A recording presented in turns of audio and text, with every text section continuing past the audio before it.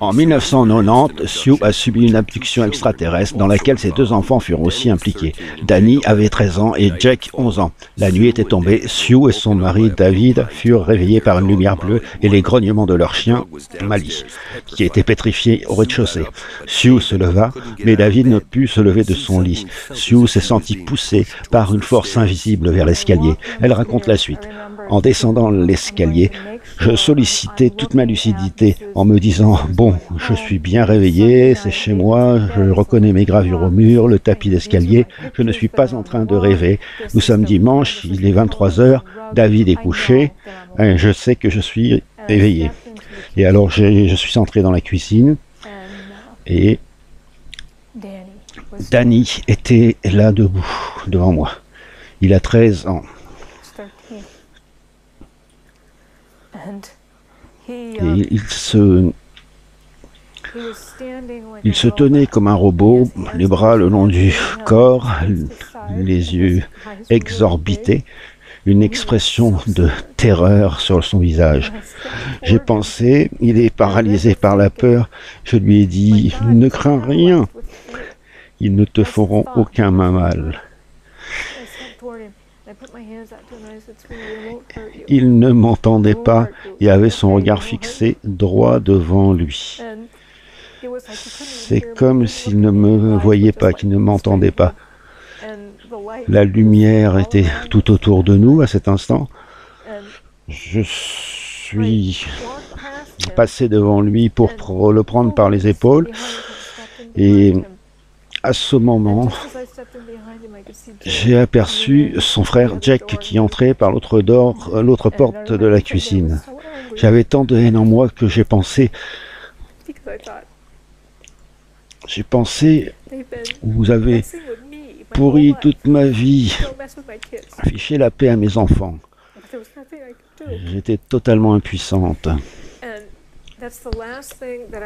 C'est le dernier souvenir clair de cet événement. Après, c'est comme dans un rêve désordonné où j'entendais Danny crier. Ce n'était pas dans ma maison, mais j'ignore où c'était. Je me souviens aussi taper sur quelque chose. Puis, euh, finalement, le blackout et le réveil dans mon lit le lendemain matin. Et donc, David était à mes côtés. J'ai rassemblé mes esprits et j'ai dit, je crois que j'ai encore fait un cauchemar.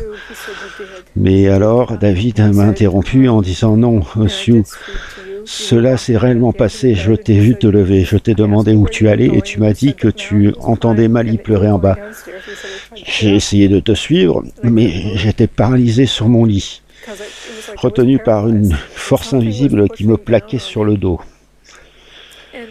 Puis tout, tout est devenu noir et je ne me souviens plus de rien après. Sue ne s'est jamais senti aussi complètement, désespérément épouvanté.